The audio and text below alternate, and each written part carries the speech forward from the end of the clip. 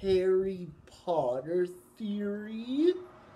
One theory that has floated around among Harry Potter fans is that Harry Potter and Hermione Granger were meant to end up together.